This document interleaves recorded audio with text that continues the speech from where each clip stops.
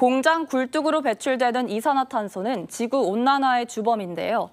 지역의 한 중소기업이 골칫거리인 이산화탄소를 직접 포집해 자원화하는 신기술을 상용화하는 데 성공해 주목받고 있습니다. 이상환 기자의 보도입니다.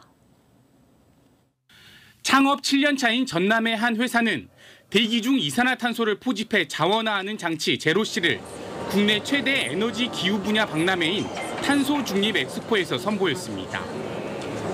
제로씨는 30년생 소나무 100그루가 흡수하는 것보다 많은 연간 12톤의 이산화탄소를 포집해 고부가가치 자원으로 재활용하는 저전력 장비입니다.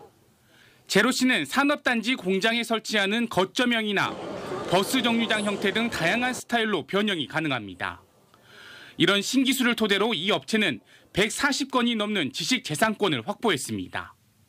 실질적인 탄소 저감 목표를 실현하고 정량화해서 배출권을 획득을 해서 탄소 배출권에 대해서 상세할 수 있는 그리고 이것을 대체할 수 있는 아주 희망적인 기술이라고 볼 수 있겠습니다.